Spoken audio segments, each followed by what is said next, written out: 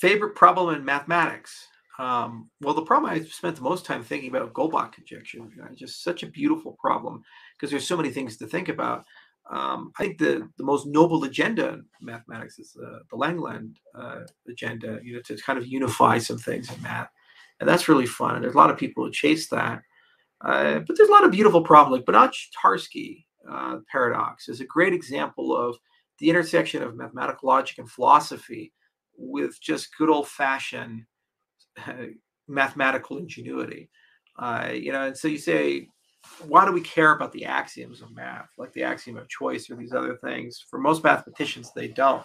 They just accept them as givens and they just live within them. And so these are the rules of the game. But what happens is every now and then, mathematicians like saying, well, if I follow these rules to their logical, absurd you know, conclusion, you're going to break some stuff. Accepting the axiom of choice says that math and physics are disconnected. It's effectively what you're saying with Banach-Tarski. Uh, so I think that problem really is a beautiful example of the con- unintended consequences of things that you accept to be true without proof. Gödel's incompleteness um, theorem is another example of the limits of formalism, and especially relevant to us at the Hoskinson Center, uh, because there's this issue of, well, constructive versus intuitionistic in mathematics. And, and so, what can you actually build with a formal system and prove, and what is decidable or not?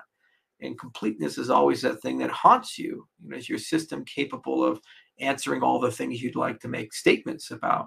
So I, I really enjoy that. Now, I mean, there's a lot of nice, fun little toy problems. Like one of my favorite additive number theory problems. It's very simple.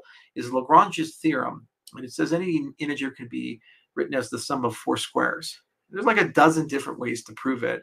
But what's really cool is, you know, you, if you want to look at the different proof techniques, uh, you can learn an enormous amount. And also, it just shows you the the sheer diversity of mathematics. How people can take different roads and each road has a different landscape they have a different view They're like one road will be in the mountains and it's long and circuitous but it's beautiful and has these huge peaks and valleys and occasionally the weather's a little rough but it's a great journey and another road will be a straight line it's right there um, others you just get blindfolded and, and, and parachuted in you have no idea how you got there but you're there like proof by contradiction. You're like, well, if it's true, there's problems, so it's not. so, uh, and all of these things can be the, the same end, constructive or otherwise. And so that's that's what makes math so profoundly beautiful, um, and gives uh, such a diverse range of thought to mathematics.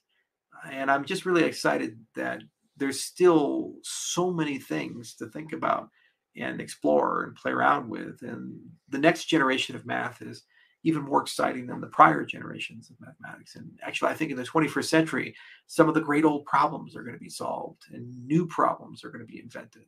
You know, I'm very optimistic